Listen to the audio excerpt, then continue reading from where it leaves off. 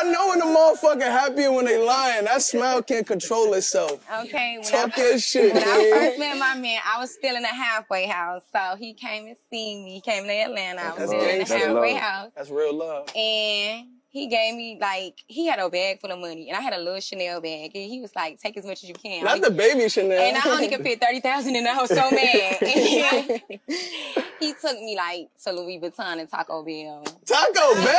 Oh, Hold on. How you go to Louis get 30,000 but eat Taco Bell?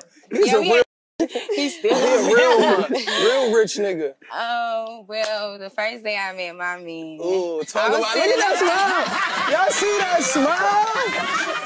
Hey yo, I know when the motherfucker happy when they lying. That smile can't control itself. Okay, when Talk I, your shit, when I first met my man, I was still in a halfway house. So he came and see me. He came to Atlanta. I was That's still in a halfway love. house. That's real love. And he gave me like he had a bag full of money and I had a little Chanel bag. And he was like, take as much as you can. Not the baby Chanel. and I only could fit thirty thousand, and I was so mad. And he took me like to Louis Vuitton and Taco Bell. Taco Bell?